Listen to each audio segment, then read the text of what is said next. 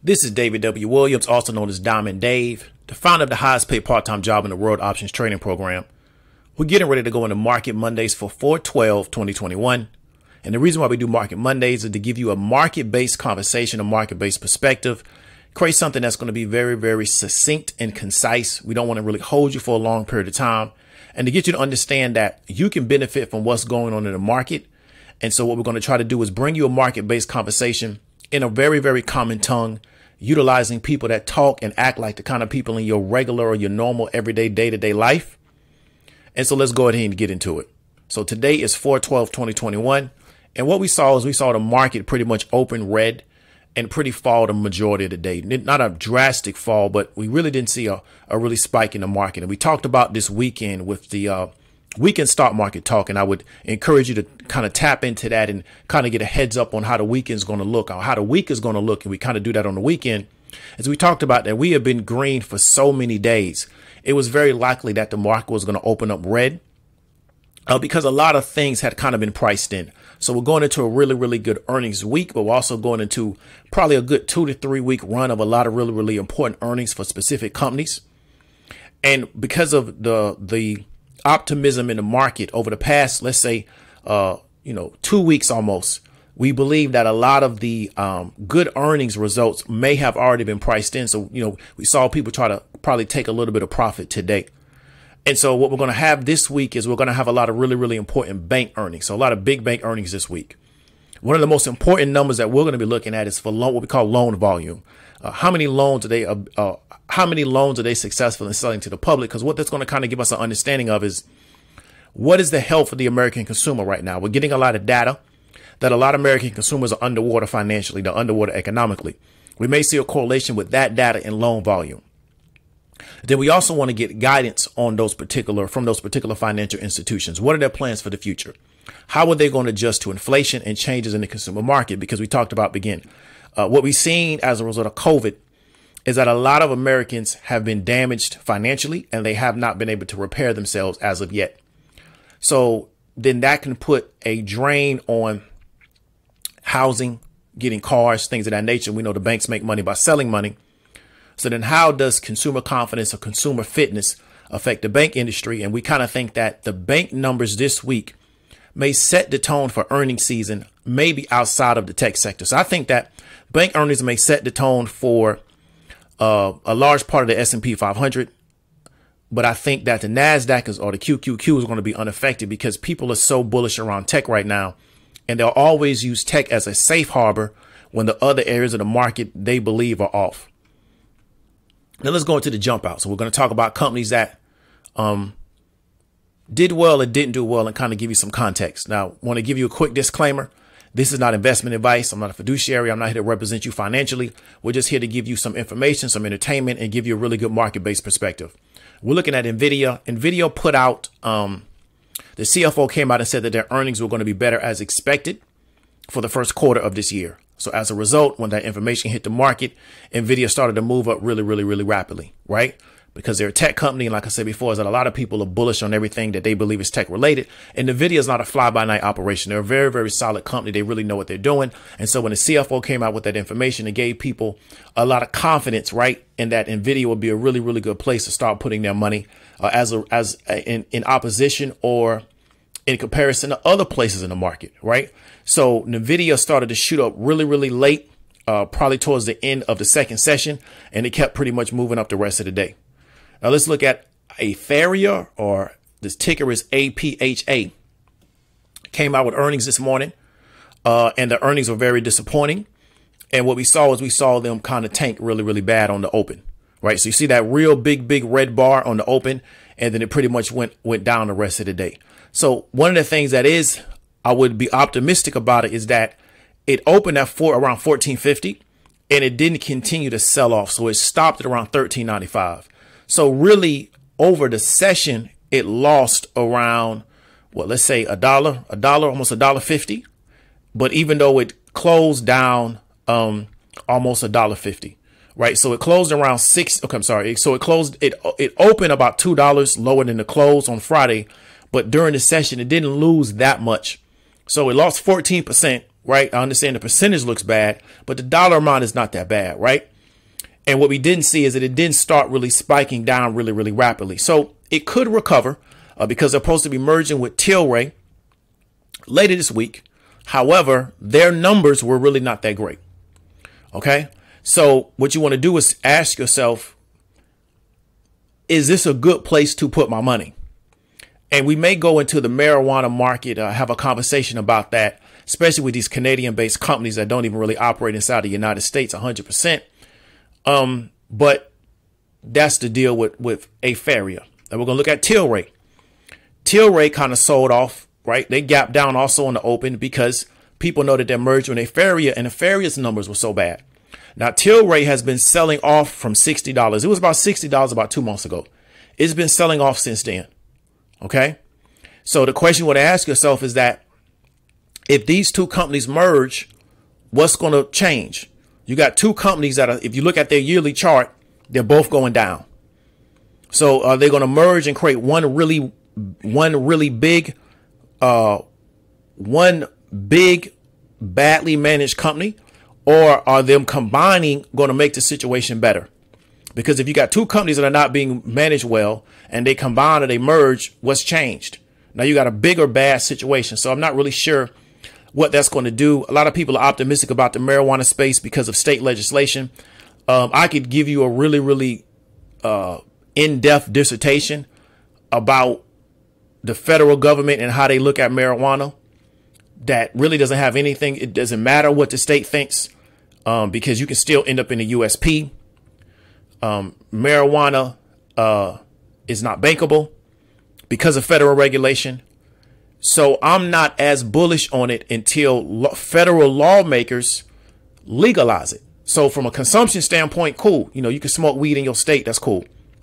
From a business standpoint, I'm really not bullish on it because it's still federally illegal, which means the DEA, um, maybe even the ATF, the FBI, whatever depart, whatever federal department can show up and prosecute you for marijuana, and you are not going to be able to hide behind the state.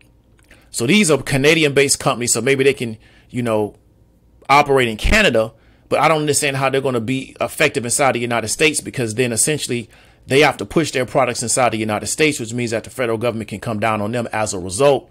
So nobody's really been able to explain to me that without the federal legislation actually being enacted, where we're going to just totally decriminalize marijuana or legalize marijuana, however you want to uh, state it, how it's something that is uh, a good place to invest your money. Now, I understand that, yeah, it eventually will happen, but my, my argument always is when you're looking at speculative companies, if it's going to be a viable company, it'll be a viable company in a year. So if the federal government I don't think it's Schumer, is going to push for federal decriminalization or legalization of marijuana. Well, what why does it matter if you get in at 17, 19 or if you get in at $30? Doesn't really matter. Unless you're you know one of those people that's buying millions of shares and then it does matter.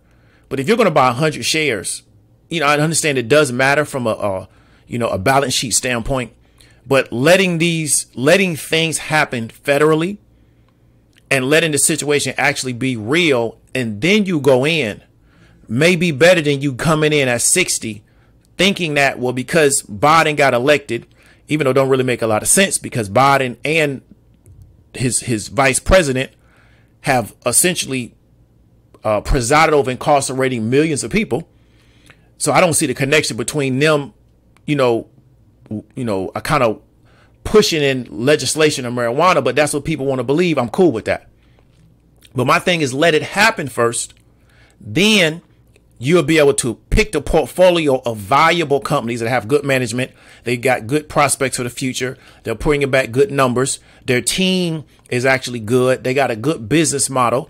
They have some type of geographical advantage. They have some type of moat around their business. Then you can select from those particular companies. But as of right now, like I said before, is, you know, I'm somebody that really understands this space. The federal government can show up and take everybody to prison. And you will not be able to hide behind what's legal in my state. That don't mean nothing to these folks.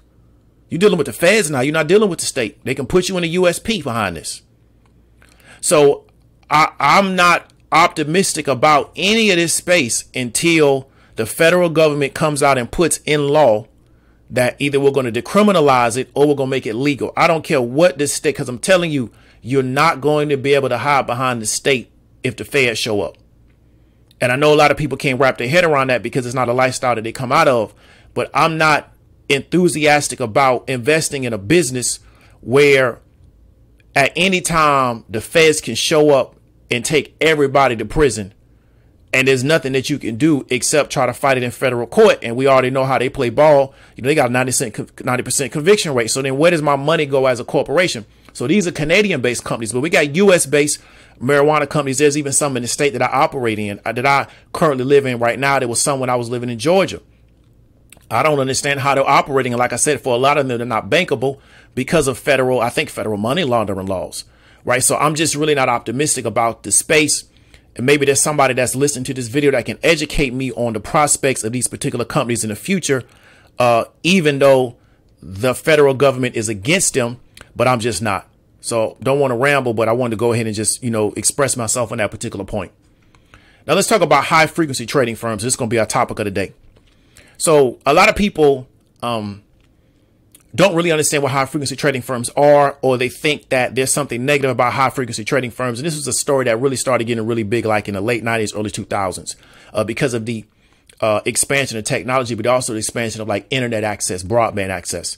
Uh, what a high frequency trading firm essentially is, is that a firm that using a lot of computers, algorithms, coding, uh, technology, has the ability to, uh, and technology is really a semantic term. So really they have a process really, right, to execute a large amount of trades in a short amount of time. So really what high frequency trading firms have done is they've created, um, computer programs that allow them to execute a large amount of trades, right? In the, in the hundreds of thousands, maybe even sometimes in the millions of trades in a relatively short amount of time. And I say short amount of time, I mean millions, right?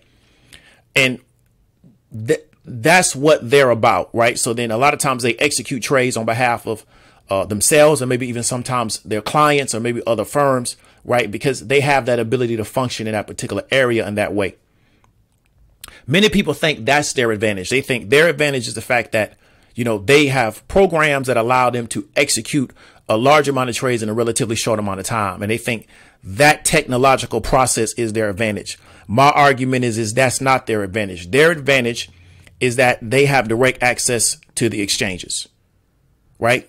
So high frequency firms have direct access to the exchanges. What do I mean by that? They have direct access, direct line access to the New York Stock Exchange.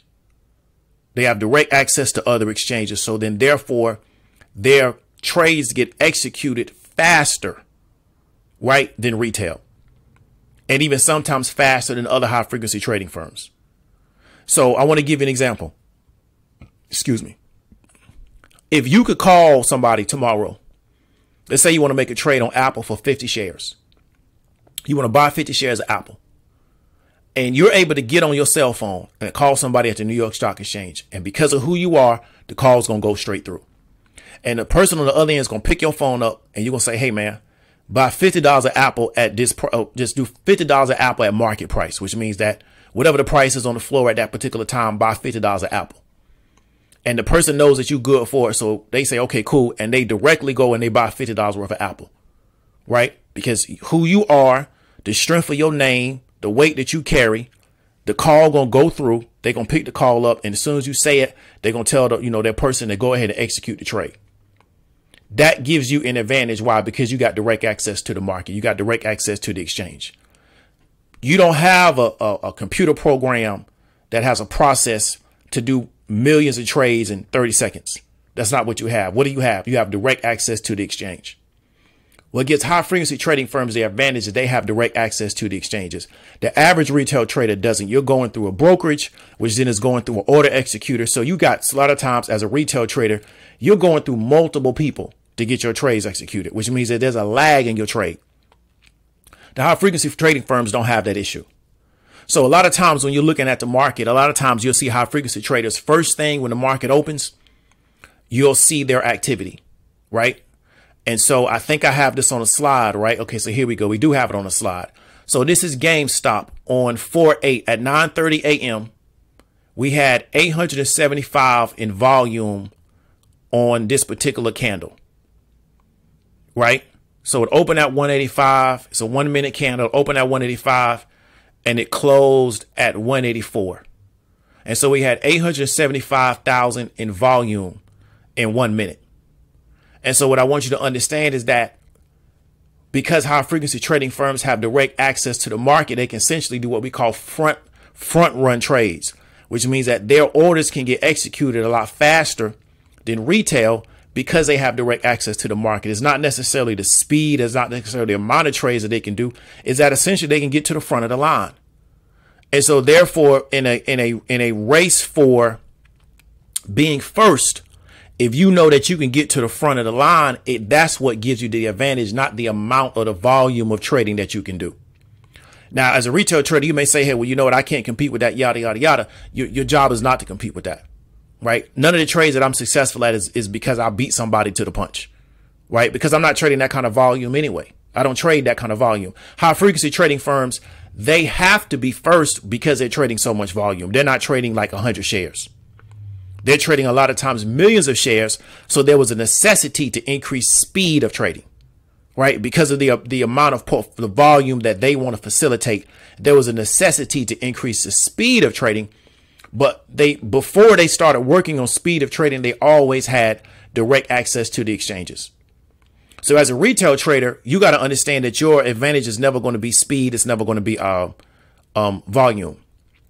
It's going to be your psychology and it's going to be your understanding of the particular company that you're trading and also your understanding of market conditions. Right? Because you shouldn't believe that those people at those high frequency traded firms are smarter than you. They're more intelligent than you, even though they may have a computer program that can execute trades at a faster rate than you. And they also can uh, get direct access to the exchanges. So you may not be first, but then you don't base your trading around being first. Right? You don't base your trading around being able to beat high frequency traders to the punch. Okay? So this is something that I wanted to really talk about, but you'll see the characteristics of these particular firms in the market. A lot of times early in the market and a lot of times late in the day, you'll see either people uh, selling a lot of shares or buying a lot of shares. And you'll see really, really, really big candles, especially on the one minute and the five minute, sometimes of millions of volume in a relatively short amount of time. And that's often high frequency trading firms getting in or coming out of positions. So that's going to be market Mondays for uh, 412 2021. Hope you got value from it. If you know somebody going to get value from it, share it out. If you want to know more about the highest paid part-time job in the World Options Trading Program, reach out to me. Hope you're having a good spring. It's getting real hot where we're at. Hope y'all enjoying the weather. This is David W. Williams, also known as Diamond Dave, and I'll talk to you later.